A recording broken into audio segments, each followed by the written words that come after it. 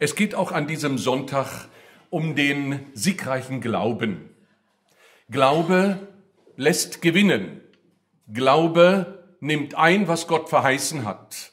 Glaube schafft Überwindung über das Böse, das uns ja täglich begegnet. Darum haben wir im Wochenspruch ja gelesen, dass der Glaube der Sieg ist, der die Welt, das Böse überwunden hat. In Jesus Christus ist alles vollkommen schon fertig. Allerdings diese Erfahrung, dass alles fertig ist, kann nur durch den Glauben gemacht werden.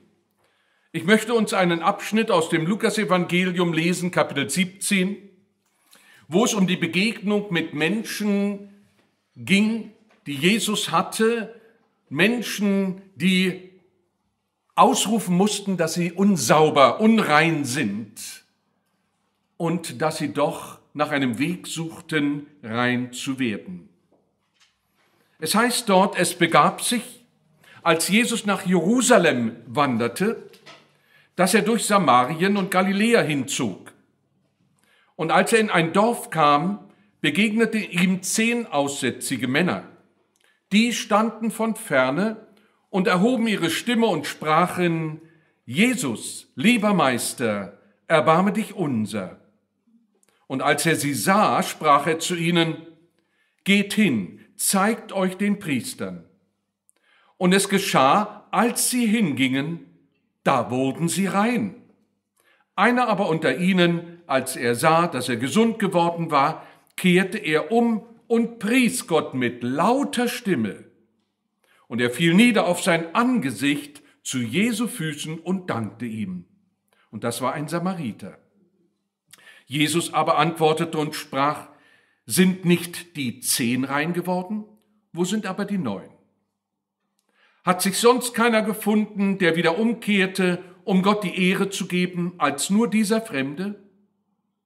Und er sprach zu ihm, Steh auf, geh hin. Dein Glaube hat dir geholfen. Dein Glaube hat dir geholfen. Der Apostel Johannes von dem wir ja bereits schon den Wochenspruch hörten, darf mit Recht schreiben, wir haben erkannt und wir haben geglaubt die Liebe, die Gott zu uns hat. Wir haben geglaubt die Liebe. Und dadurch, dass wir geglaubt haben, haben wir sie erfahren. Nämlich die Liebe, die uns Menschen aus dem ewigen Verderben von dem Weg des Abgrund zum Abgrund zurückgezogen hat. Die Liebe, die uns aus dem Zugriff der Hölle des Satans befreit hat. Die Liebe, die unsere Verfehlungen, unsere Sünden getilgt hat. Wir haben erkannt diese Liebe, die Gott zu uns hat. Und wir haben sie geglaubt dass es so ist. Liebe Geschwister, es ist ja zweierlei. Einmal daran zu denken, dass Gott Liebe ist und zum anderen zu glauben, dass diese Liebe mir gilt. Oftmals denken wir ja, sie gilt nur anderen. Bloß in meiner Situation ist Gott einfach nicht da. Er hat mich offenbar nicht lieb. Nein, wenn wir glauben, dass Gott sein Werk an uns vorbereitet hatte in seinem Sohn Jesus Christus, dann werden wir auch die Erfahrung machen, dass er selbst in den dunklen Tälern und dort in den schwierigen Situationen des Lebens bei uns ist. Er hat nur Gedanken des Friedens für uns und mit uns. Ja, wir sollen erlöst sein von den Dingen, die uns nach unten ziehen. David, von dem wir ja auch schon den einleitenden Psalm hörten, sagt zum Beispiel, dass diese Niederung, aus der er erlöst werden wollte, eine grausige Grube ist. Sie ist grausig, Psalm 40, Vers 3, und will unbedingt aus der grausigen Grube heraus. Das Leben ist so schwierig, das Leben ist so destruktiv, ich brauche Hilfe. Dazu ist Jesus gekommen. Und Johannes schreibt auch weiter, diese Liebe steht darin ganz fest, nicht, dass wir Gott geliebt haben. Das wäre keine beständige Liebe von vornherein, wenn wir versuchten, Gott zu lieben und somit seine Geschenke zu uns herabzuziehen, sondern die Liebe steht darin fest, dass er uns zuerst geliebt hat. Er uns.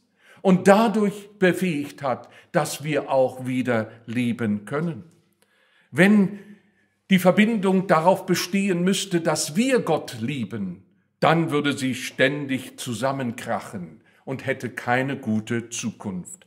Gott hat uns zuerst geliebt. Und das sehen wir in der Einleitung zu diesem Textabschnitt, dass Jesus Christus, bevor er diesen Aussätzigen begegnete, auf dem Weg der Liebe nach Jerusalem war. Jerusalem nicht von ungefähr wurde angesteuert, weil es der Ausdruck des Friedens ist. In diesem Wort Jerusalem steckt das Wort Shalom, Friede drin. Deswegen ging Jesus an den Ort des Friedens, um den Frieden für uns, zwischen Gott und uns aufzurichten. Er war auf diesem Weg, für alle diesen Frieden zu geben, durch Vergebung der Schuld, durch Vergebung der Sünden in seinem Opfer, in seiner persönlichen Hingabe für dich und für mich, ging er nach Jerusalem. All das war im Vorfeld dieser Begegnung schon in den Gedanken Jesu. Ich gehe nach Jerusalem. Ich gehe an den Ort des Friedens, um Frieden für alle Menschen mit dem himmlischen Vater zu bewirken. Denn er kam in das Fleisch, Gottes Sohn ins Fleisch, um diesen Frieden zu bringen. Er wollte uns diese Gnade der Vergebung darreichen. Und aus seiner Fülle sollten wir und dürfen wir immer wieder aufs Neue schöpfen. Und von dieser Freude, dass Gott an uns gedacht hat und an uns denkt, durfte durch den Heiligen Geist zum Beispiel der Vater des Johannes des Täufers reden. Er spricht unter anderem hier in Lukas 1 davon und sagt, ich lobe den Herrn, den Gott Israels, denn er hat besucht und erlöst sein Volk. Er hat es getan, obwohl Zacharias das ja noch gar nicht sehen konnte. Aber der Glaube sah weiter und er hat im Glauben gesagt, du hast besucht und erlöst. Erlöst dein Volk, es ist schon fertig. Und du hast uns aufgerichtet eine Macht des Heils im Haus deines Dieners David wie er vor Zeiten schon geredet wurde durch den Mund seiner heiligen Propheten, dass er uns errettete von unseren Feinden und aus der Hand aller, die uns hassen, und Barmherzigkeit erzeigte unseren Vätern und gedächte an seinen heiligen Bund und an den Eid, den er geschworen hat, unserem Vater Abraham uns zu geben, dass wir, erlöst aus der Hand unserer Feinde, ihm dienten ohne Furcht unser Leben lang in Heiligkeit und Gerechtigkeit vor seinen Augen. Diese Glaubensprophezeiung sagte nicht nur, dass wir von äußeren Schwierigkeiten und den äußeren Feinden erlöst sind, so wie Israel damals unter der römischen Herrschaft stand, sondern von den Feinden, die uns in den Abgrund ziehen, von, den Feind, von dem Feind der Sünde, von dem Feind der Furcht, von der Belastung, die uns nicht zur Ruhe kommen lässt. Die Seele ist unruhig, weil sie keinen Frieden mit Gott hat. Und von all diesen Feinden, die diesen Frieden stören mit Gott, sind wir in Christus erlöst. Das wurde hier in der Weissagung schon ausgedrückt. Wir Menschen sollen frei von Furcht sein, frei von der Furcht des Todes. Denn in der Furcht des Todes ist man ein Geknechteter, ein Geknechteter, der nie freudig aufblicken kann, der immer nach unten schauen muss, der immer das Negative bewegen muss, der keine Freudigkeit hat, nur das Gute zu entdecken, sondern bleibt ständig an den Niederungen dieser Welt stehen. Das löst Furcht aus. Und von dieser Furcht sind und sollen wir erlöst sein und bleiben durch Jesus Christus. Darum ging er nach Jerusalem.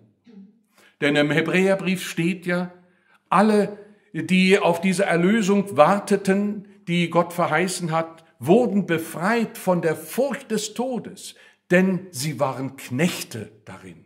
Sie fürchteten sich jeden Tag, jeden Tag, was da kommen mag. Nicht nur vor dem Abscheiden aus dieser Welt, sondern auch darüber, was danach kommen könnte. Wo werden wir sein?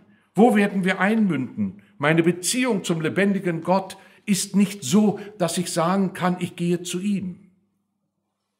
Jesus Christus kam auf dem Wege nach Jerusalem mit diesem Wunsch im Herzen, uns zu befreien von allen Feinden und von der Furcht des Todes, denn Furcht hat Pein. Jerusalem hat Gott deswegen erwählt, weil er hier seinen Frieden offenbaren wollte. Es steht ja in der Schrift, dass Gott selber Jerusalem erwählt hat, gesagt, das ist meine Stadt. Wir lesen das unter anderem in Sacharja 3, Vers 2, wo der Engel des Herrn mit dem Widersacher schimpft und sagt, du sollst das Werk Gottes nicht verhindern. Der Herr schelte dich, du Satan. Der Herr, der Jerusalem erwählt hat der den Frieden wünscht, den Frieden unter den Menschen, den Frieden zwischen Mensch und Gott. Dem Widersacher gefällt es nicht, wenn ein Mensch wiederhergestellt wird und in die Verbindung mit dem lebendigen Gott, seinem Schöpfer, kommt. Dem Widersacher gefällt es nicht, wenn Gott sein Volk Israel wieder zusammenführt, um sich diesem Volk neu zu offenbaren. Dem Widersacher gefällt nicht, wenn jemand befreit wird von seiner Schuld, von seiner Sünde und das ewige Leben als Zuspruch empfängt. Darum steht er uns oft im Wege. Aber wir sollen glauben, und davon handelt auch dieser Text. Glaube befreit. Glaube richtet die Herrlichkeit Gottes in uns auf. Glaube gibt uns die Erlösung, die Gewissheit, wir sind erlöst. Im Psalm 137 spricht der Psalmsänger auch darüber, dass es wichtig ist, diesen Frieden, diese Stadt des Friedens, Jerusalem im Herzen zu haben. Und er sagt, wenn ich dein vergesse, der Friedensstadt, dann würde, soll meiner vergessen werden. Meine Zunge soll an meinem Gaumen kleben, wenn ich dein vergesse, Jerusalem. Wenn ich nicht den Frieden, den Gott dort schenkt, zulasse dann habe ich kein Anrecht an dieser Stadt. Ich will aber doch daran denken, denn dort kommt mir Gott entgegen. Wir lesen und lasen in dem Text, dass plötzlich, als Jesus durch einen kleinen Ort kam, Richtung Jerusalem, von ferne zehn aussätzige Männer standen. Sie standen deswegen von ferne, weil sie nach dem Gesetz Außenseiter sein mussten der Gesellschaft, dass ihre Krankheit nicht eventuell noch andere ansteckt. Man durfte keinen Kontakt mit ihnen haben. Deswegen standen sie abseits. Die Krankheit hatte sie äußerlich so gezeichnet, dass sie auch unansehnlich waren für die anderen Menschen aber auch innerlich geprägt und innerlich verkrampft. Sie litten große Qual innerlich. Aber bei all dem hatten sie irgendeine Hoffnung im Herzen. Sie sahen und sie hörten, dass dort Jesus von Nazareth vorbeikäme. Und sie hörten ja auch von ihm, dass er heilt, dass er Wunder tut, dass er Menschen froh macht und sie hofften auf die Barmherzigkeit Gottes durch ihn. Äußerlich gesehen war ihr Zustand hoffnungslos. So wie manchmal auch das Leben des Einzelnen, vielleicht auch unter uns in manchen Phasen recht hoffnungslos aussieht. Manchmal sprechen die Einzelnen das auch aus. Bei mir geht's überhaupt nicht weiter. Ich versinke in diesen Problemen, die mich umgeben. Äußerlich alles hoffnungslos. Aber wir dürfen nicht unterlassen, im Glauben die Barmherzigkeit Gottes zu erwarten. Nicht die Barmherzigkeit der Menschen. Der natürliche Mensch hat keine Barmherzigkeit. Er hat sie nicht so, dass dem anderen echt geholfen wird in der Seele. Es muss die Barmherzigkeit Gottes sein, die wirklich dem Menschen dient und hilft. Diese Aussätzigen, sie taten etwas, was vielleicht viele Menschen auch tun, wenn sie ihr eigenes Leben betrachten. Sie riefen laut, dass die Leute in ihrer Umgebung das hören konnten, dass sie unrein seien. Komm mir nicht zu nah, ich bin unrein. Manche rufen das nicht so laut über ihrem Leben, aber sie denken darüber nach, ja, was bin ich denn bloß für ein Mensch? Ich habe diese Ecken und Kanten. Am liebsten würde ich das alles so ausrufen, wer ich wirklich bin. In der Schrift steht ja, wie der Herr Jesus auch sagt, eigentlich müssten manche rufen, ich bin ein Mörder, ein Brudermörder. Ich bin ein Ehebrecher. Ich bin ein Dieb. Ich habe über andere schlecht geredet. Ich bin ein Lästerer. Das müsste ich ausrufen als Unreiner. Ich bin auch ein Geiziger und ich möchte gerne beachtet werden. Ich bin aber auf der anderen Seite auch ein Ungehorsamer den Eltern gegenüber und undankbar bin ich auch. Ich bin auch ungeistlich und ich habe keine Liebe, ich bin lieblos, unrein, unrein, unrein. Ich bin gar nicht versöhnlich. Ich bin ungütig. Verräter bin ich auch. All diese Worte stehen in der Heiligen Schrift, was uns verunreinigt, was uns eigentlich quält, auch wenn wir es nicht immer zugeben, was uns quält. Aber im Herzen schreien wir darüber und sagen, Herr, das bin ich, das bin ich. Und sie riefen aber ihre Unreinheit in Richtung Jesu aus. Nicht einfach nur so in die Luft, sondern sie riefen sie besonders stark aus, weil Jesus vorbei ging. Sie erhoben ihre Stimme, heißt es. Ja, sie haben das nicht so, so leise vor sich hingesagt, sondern sie glaubten, dass es einen Gott gibt, der barmherzig ist, der uns reinigen kann von dieser Unreinheit. Und in diesem Glauben erhoben sie ihre Stimme und riefen ihre ganze Not aus. Sie wollten nicht festhalten an ihrem Zustand, sich nicht darein ergeben und sagen, ich bin nun mal wie ich bin, ich habe nun mal so einen schlechten Charakter und jetzt muss ich mit dem schlechten Charakter leben. Nein, ich möchte ihn loswerden, ich möchte Veränderung meines Lebens haben. Leider ist es ja oftmals so, dass auch viele Menschen wohl über ihr Leben klagen. Die Klagelieder können manchmal recht lang sein. Sie können viele Kapitel haben oder Bücher vielleicht sogar füllen, aber man hört nicht bei dem Klagen heraus, dass sie von diesen Dingen frei werden wollen. Sie versuchen selber, sich daraus zu befreien und schaffen es nicht. Ich habe hier von Oswald Chambers eine gute Ausführung gelesen, wo er gerade darauf eingeht, wie Menschen doch versuchen, sich selbst zu befreien. Er sagt, ich kann mich nicht selbst retten. Ich kann mich nicht zum Eigentum Jesu machen. Ich kann die Sünde nicht wieder gut machen. Ich kann Unrecht nicht recht und Böse nicht gut machen und Rebellisches kann ich nicht unter Gottes Herrschaft bringen. Ich kann das nicht. Das alles kann nur Gott allein. Glaube ich an das, was Jesus getan hat? Er hat die Sünde wieder vollkommen gut gemacht. Bin ich gewöhnt, mir das immer wieder bewusst zu machen? Das Notwendigste für uns ist nicht die Dinge zu tun, sondern die Dinge zu glauben.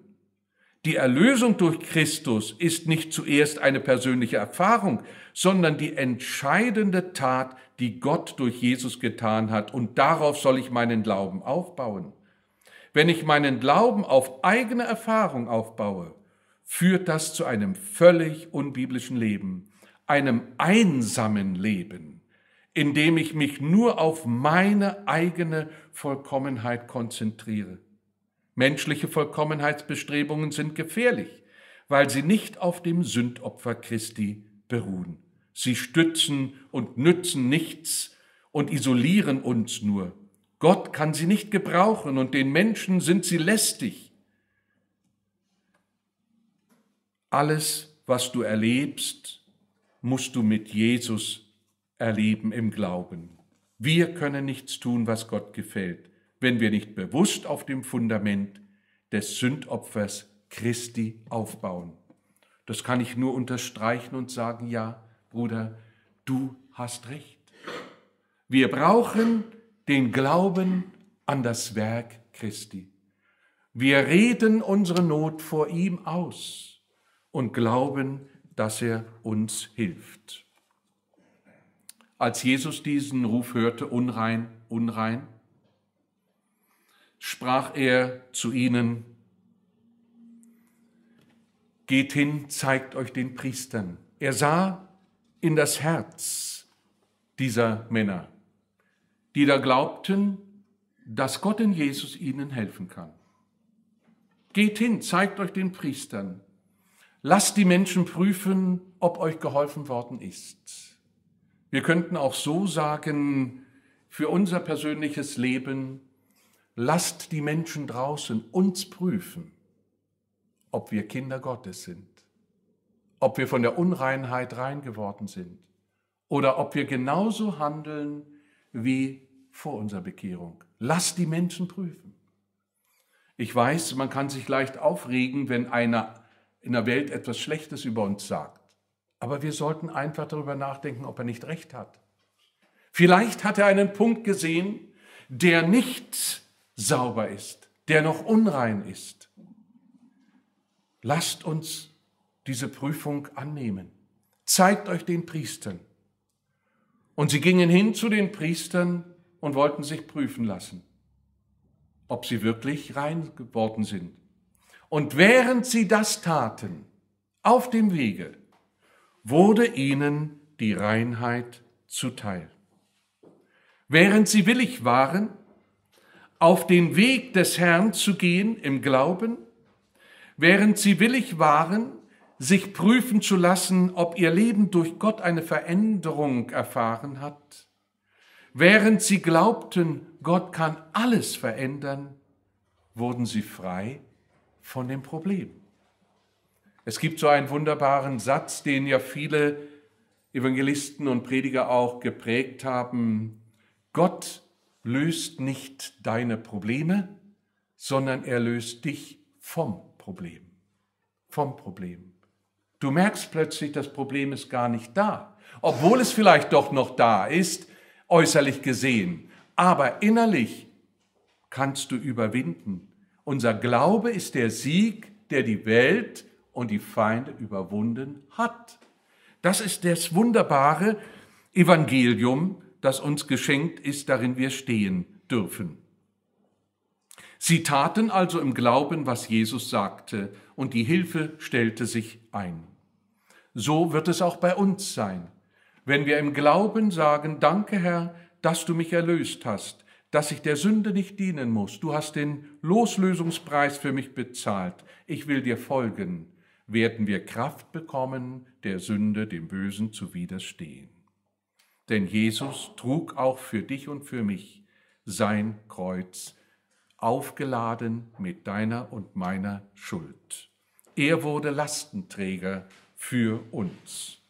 Er trug unsere Krankheit, unsere Schmerzen. Die Strafe für Sünde lag auf ihm. Wir sollten dadurch und haben auch gefunden, Frieden finden. Das war das Ziel. Jerusalem, Friedensstadt, Frieden finden. Durch seine Wunden sind wir geheilt. All das, was uns quälte, ist uns abgenommen. Nun dürfen wir frei sein. Das Wichtige ist, und da sagt uns natürlich auch der Text etwas, was uns manchmal auch abhanden kommen kann. Das ist der Dank. Der Dank, tägliche Dank dafür, in der Freiheit bestehen zu können. Es kamen nur neun, neun waren auch gesund geworden, es kam nur einer zurück. Und Jesus sagt, da waren doch eigentlich zehn, wo sind die anderen neun? Die danken nicht.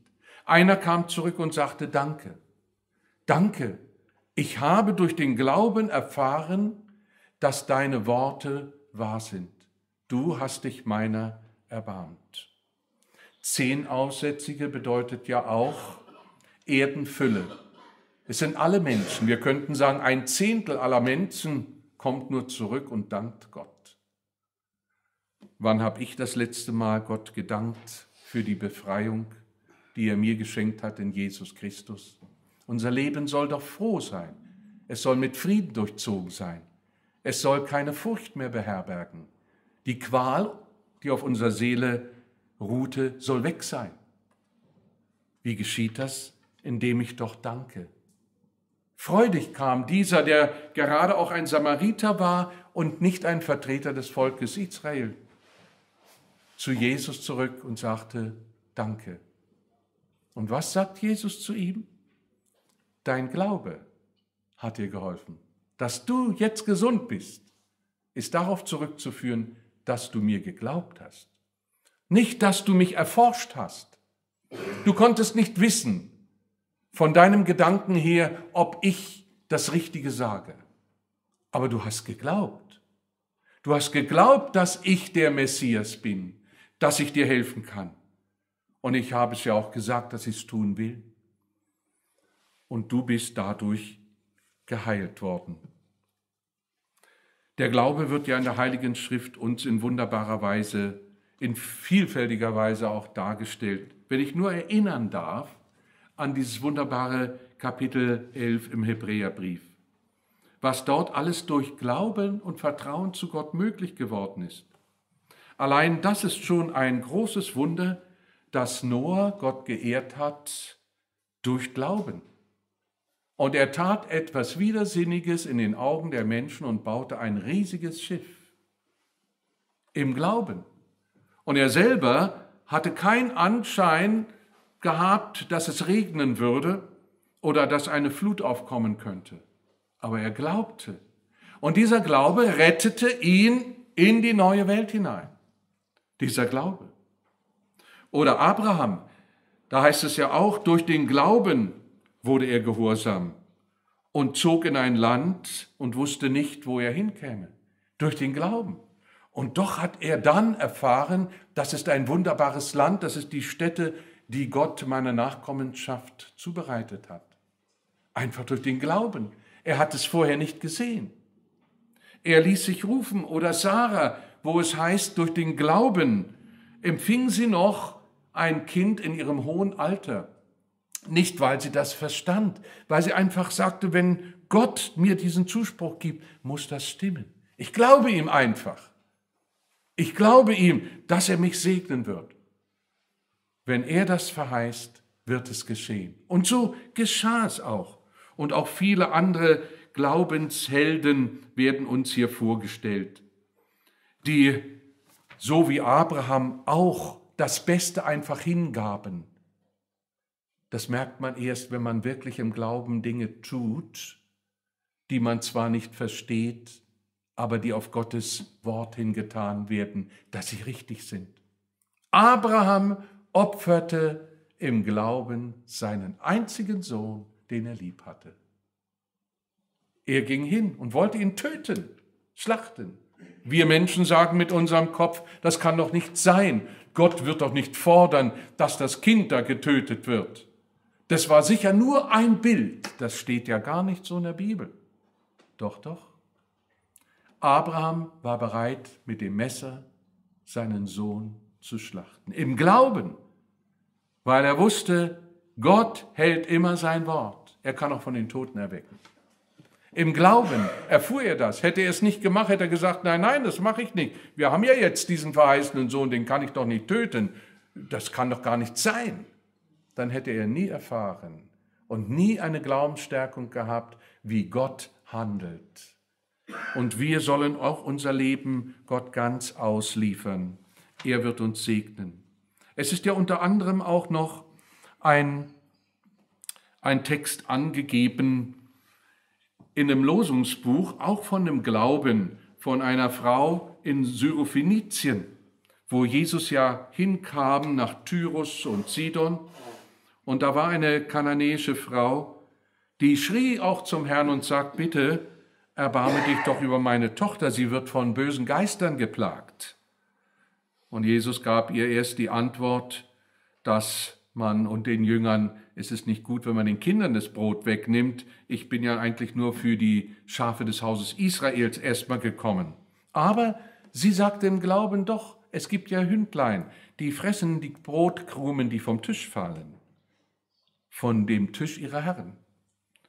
Und da sagte der Herr Jesus, dein Glaube ist groß, dein Glaube hat dir geholfen, deine Tochter ist gesund, dein Glaube. Einfach Vertrauen.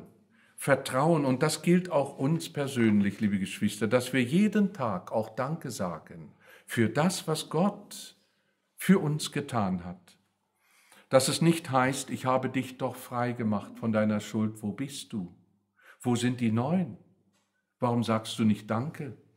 Warum wendest du dich wieder deinem eigenen Leben zu, als ob es das Neue nicht gäbe, als ob du keine Befreiung erfahren hättest? du sollst doch gesandt werden als Zeuge in diese Welt. Und das steht uns auch zu, wenn wir in die neue Woche gehen. Wir sollen Zeugen dieser Gnade sein. Die wichtigste Entscheidung für unser Leben war und ist die Begegnung mit Gott in Jesus Christus. Und wir können es auch heute für uns ganz persönlich neu festmachen und sagen, ja Herr, ich will die Tage der kommenden Woche ganz verbindlich mit dir in dem neuen Leben leben. Du hast mich befreit. Danke dafür. Du hast zu mir gesagt, geh hin, dein Glaube hat dir geholfen. Darum heißt es auch in einem Lied so schön einladend, sag ihm doch alles, was dir fehlt. Sag ihm alles, was dich quält.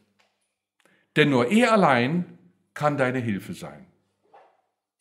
Nur in seinem teuren Blut wird dein Leben neu und gut.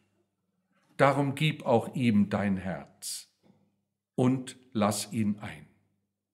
Lebe im Glauben und in der Entscheidung für Jesus, der dein Friede ist. Amen.